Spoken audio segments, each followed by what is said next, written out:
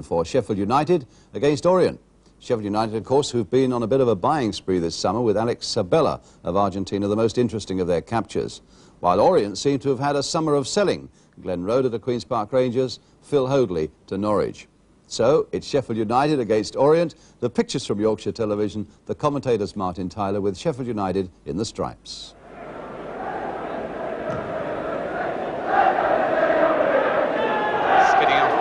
Might have been unsettled by the sun. Orient defenders with the sun in their eyes. Bobby Fisher. And quickly was Mickey Speight. Woodward to his right. Finnieston waits in the middle. Speight has gone on.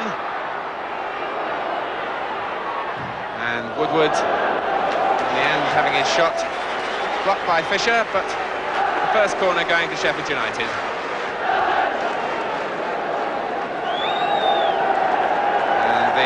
applause ringing around the ground for Alex Sabella, who's come across to take it. Very much a left-footed player. Colin Franks has come up. Stainrod jumping, and it's gone in from Simon Stainrod. So the perfect start. And there's the delight from supporters who've come to see things happen at Bramall Lane this season from Sabella's corner. Stainrod climbed so well at the far post. The deflection on the line couldn't stop it going in, and Sheffield United go in front in the fourth minute.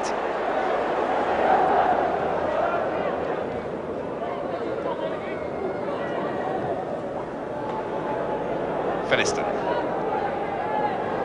Taken up well by Hamson. Speight's gone to the near post. This is Mickey Speight. Well, there was six inches in it at the end. Beautifully worked on the left-hand side, taken up by Hansen from Finnieston. And Speight made it quite clear where he wanted it, and the flick was just wide.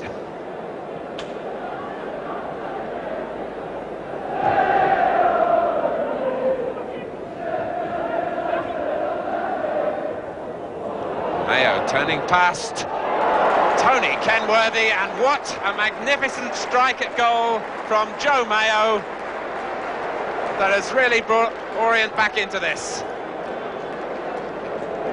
Kenworthy committed himself to go for the ball, and when he missed it, it was a clear side of goal for Joe Mayo. He struck it on the half volley, and it fairly rattled past Conroy. It's 1-1 with 21 minutes gone.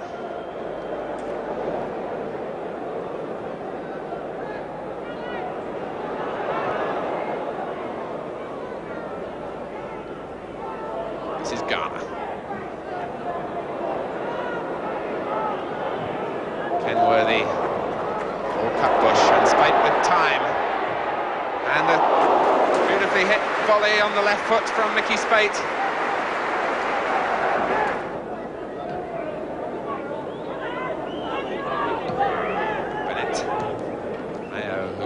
checks away from his marker so well and then sets things up like that. To Hughton on to Chiedozie and now Kitchen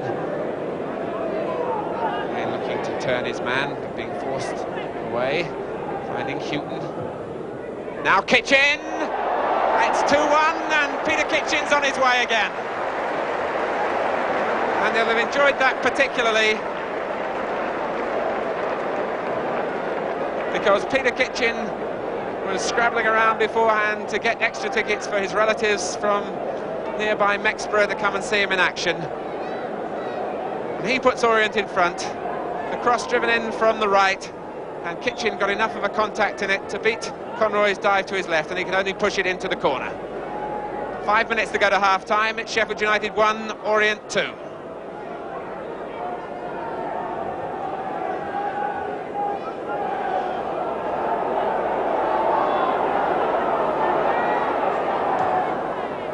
Woodward